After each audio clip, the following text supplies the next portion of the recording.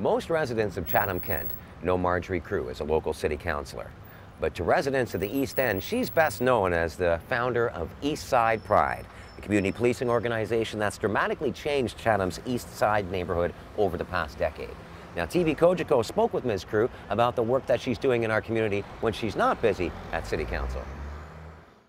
I, am the founder of Eastside Pride, and we began in uh, 1999. And uh, it was it's anytime a community decides to become involved, usually there's something that is very, um, the word is very disturbing to them, and it's the straw that breaks camel's back. Now, for East End residents, the straw that broke the camel's back was a murder that took place back in the 1990s behind the Royal Tavern.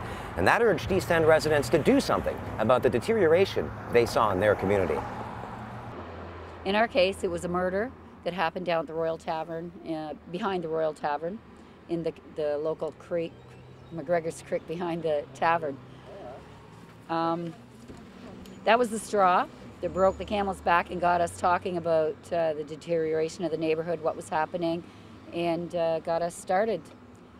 That was the starting point. There's been many, many things that have evolved over the, the course of that time. The streets at that point were completely riddled with drugs and prostitution and John activity and uh, all the spin-offs from the drug culture.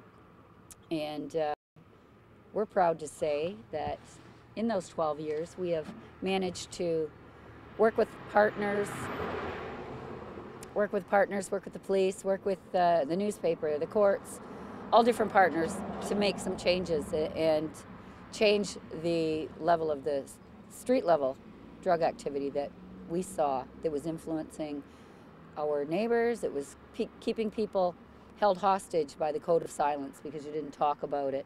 You just, uh, and now we tend to speak loudly about drugs in our neighborhood. Now, over the years, residents have seen steady improvements taking place in the East Side as a result of East Side Pride's work, with a significant overall reduction in crime. So we've developed some strategies as a community in partnership with the police and, and the neighbors and uh, uh, the drug unit. Um, and what we've done is we have effectively shut down probably 70, 80 crack houses in this neighborhood. Drug houses, not just crack, but all types of drugs. And uh, through that process, we've learned about drugs and the impact that it has on people. And it's not just the drug addicts, it's their families, it's the community. And it doesn't just affect this neighborhood, it affects the community at large. Um, one of the things that we, when we began the community stroller program was to be visible, and that's where the, uh, the, the, the, fluorescent looking uh, logo came from. And uh, one of those reasons was we want everybody, good and bad, to know who we are, and we use the media to get our message out. Uh, and they were a really strong partner, and they helped us a lot. Uh, if people don't know what you're doing, it's kind of hard to uh, be effective, and or as effective. So that was a, really good tool for us. Um, as we, what we do when we are out doing these citizen patrols is we just document suspicious activity. And since we know all the characters, or most of them, around our neighborhood, we know the, folks that are going here and there, frequent visits, and we document that and send it to the drug unit. And um, that's been very effective. It's helped uh, gather information for the police to use when they uh, execute warrants. So that's become very effective, and that's one of the ways that we shut down a lot of drug houses. Uh, we've become recognized as uh, by all folks in the neighborhood. And the other thing is we want the police to know us if we're in trouble. And that's never happened. And I think one of the keys to our success there um, is because we're respectful to everybody. We don't talk to anybody other than in a manner that we want to be talked to. So, you know, if, if they want to cuss and swear at us, we're not going to give it back to them. Uh, and uh, that's just the way it is.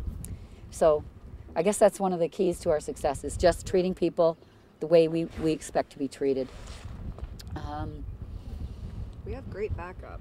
Yeah, we have uh, excellent backup with the Chatham Kent Police Service, and we can't say enough about them because we've very rarely had to call 911 because of a situation, and that's been in the long past. But uh, they've responded quickly and swiftly and always had our back. But the group does more than just street patrols. Over the years, they've worked with community partners like the Chatham Kent Police and local residents to help bring about improvements to properties all across the East End.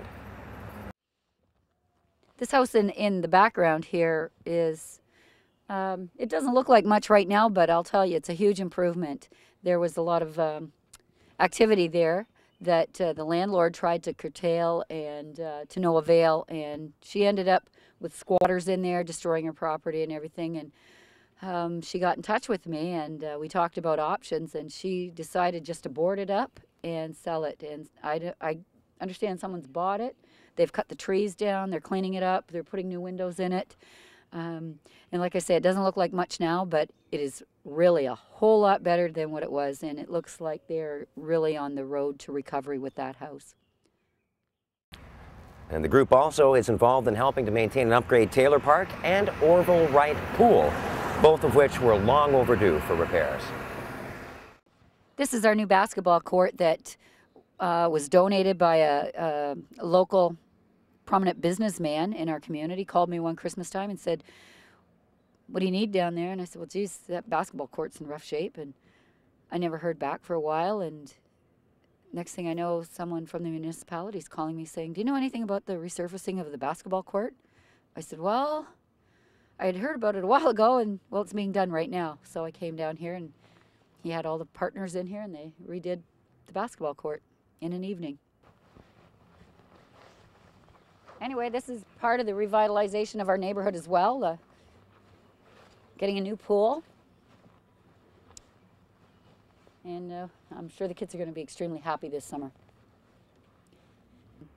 The municipality applied for the grant and got this, or this pool would be done if we didn't get that life saving uh, money from the government because we just can't afford to rebuild pools. And, and that's the sad nature of not just our neighborhood, the whole community, and other communities as well.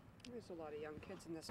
Now, the group was also responsible for the creation and preservation of the BME Freedom Park in conjunction with the Black Historical Society of Chatham Kent. This is the BME Freedom Park, and this park is a partnership uh, between the Chatham Kent Black Historical Society, Eastside Pride, and the municipality, municipality of Chatham Kent. Um, this, there's a lot of symbolic things here in the park. And first of all, there used to be, this is a historic site.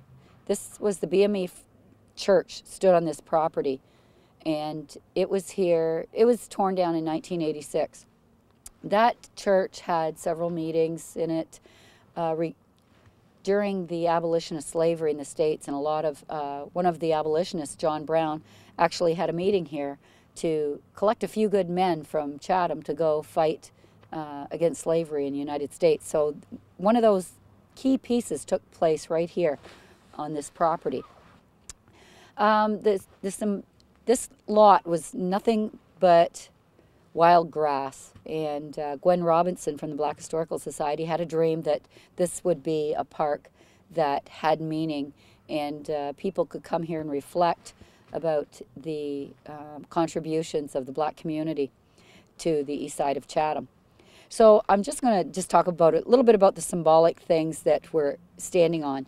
The wavy sidewalks are symbolic of the um, not so straight path to freedom that uh, slaves from the United States faced when they came here. Okay, you're standing on, these flagstones are reflective of uh, broken families and broken lives as, as they come to freedom. And this large flagstone is symbolic of the bridge to freedom, and this circle is a circle of life. We have implemented as many green things. We have solar uh, energy that uh, lights up the um, bust of Mary Ann Shadd Cary. Marianne was done by Artis Lane, who is a world-renowned artist who lived directly across the street in her younger years and went to CCI and lived in uh, North Buxton. And uh, we are extremely proud of this bust. And uh, to have this piece of art in our neighborhood is just absolutely fantastic. We did crime prevention audit on this park. So what we did was design out crime uh, using CPTED principles. So, for instance, you'll see on the retaining wall we have some clips that's to keep the skateboarders off we were hoping we wouldn't have to do it but it they showed up so we had to put some metal clips up there so they can't skateboard we kept clean sight lines so everybody in the neighborhood can see this park and one of the really cool things this is since 2009 this is truly a neighborhood project because people come and they plant flowers here and people come and uh, they they call the police if they see anybody in here uh, so you know it's truly owned by this neighborhood, and that's that was our goal. It was to have something that the neighborhood could be proud of. Now, despite the support of Chatham Kent Police, Marjorie says the group still needs to do fundraising and has an annual budget need of about $10,000. We, are, we need a budget at this point of about $10,000 a year. We do a mentoring program with kids, uh, Cops Link with kids. We partner kids with uh, police, and we take them out on a golf course and let them get to know the police officers in a different setting, in a non-violent, non-judgmental, neutral setting. And it's really cool to watch the kids kind of warm up to the cops and uh, the, the cops learn about the kids and what they're going through. We also, uh, our new project this year, we're supporting, we're adopting the AME Soup Kitchen. Um, we need to make sure that the people who need in our community are taken care of. We have uh, lend a hand projects, and that takes on many forms. We are a partner with the Chatham Kent Black Historical Society, and uh, we built the BME Freedom Park, and we maintain it with them. We have a Christmas event every year. We're going to do something new this year. We usually have our Christmas caroling hayride, but we're going to change that up. Many of these people have gotten involved over the years. Uh, I think Mona was probably here the longest, and then Heather came on, and then Bev. Uh, so I'm going to ask Mona why she got involved. I got involved with my daughter. Um, she was having a little bit of trouble, so she uh, she joined the group because to build her her self confidence and whatnot. And I got involved with her just to give her moral support. I got involved as a new resident to Chatham Kent, I was looking for some way to help my community to be a part of my community, and it was suggested by my husband that this would be a gr- good group to join. That there was lots of fun and lots of work to be done. And I've been here 10 years now. Three years ago, we renovated a house, and we had to keep it vacant while we were remodeling. We were living somewhere else, and that's when I noticed Eastside Pride in the neighborhood. And they were always walking by. They were keeping an eye on the house. They knew we weren't around. So we moved in two years ago, and from that point on, I joined because I knew what they had done to the neighborhood, how bad it was before.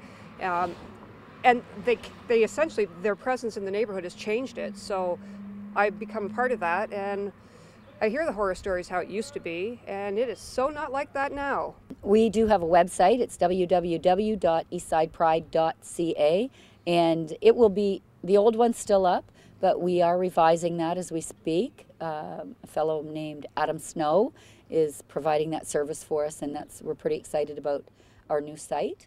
Now, if you're interested in being a volunteer or contributing to the work of Marjorie Crew and Eastside Pride, you can visit the group's website for more information on their walks, fundraising activities, and community outreach events. For TV Cogeco, I'm Dave Parkinson.